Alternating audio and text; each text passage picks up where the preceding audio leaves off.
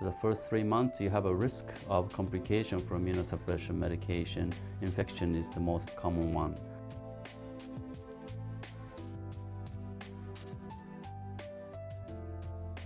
So uh, liver transplantation surgery uh, recovery depends on how sick you are prior to transplant.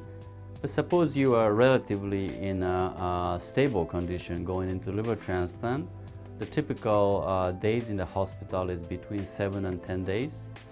Um, and the uh, uh, wound healing time is about one month's time.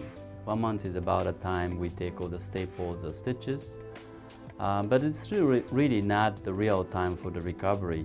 The liver transplant surgery involves immunosuppression medication to suppress your immune system. Uh, the immunosuppression medication is typically very high for the first three months. The first three months, you have a risk of complication from immunosuppression medication. Infection is the most common one.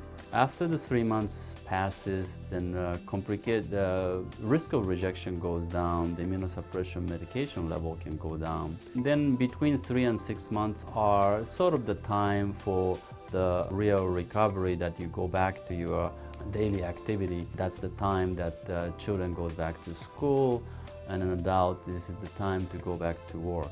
The most common complications are the infection, uh, or the rejection. These complications typically happen early after transplant.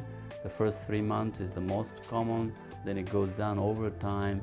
Uh, but probably up to one year, you still have at risk of relatively high likelihood of complication. But once the one year passes, um, that goes into a more stable time.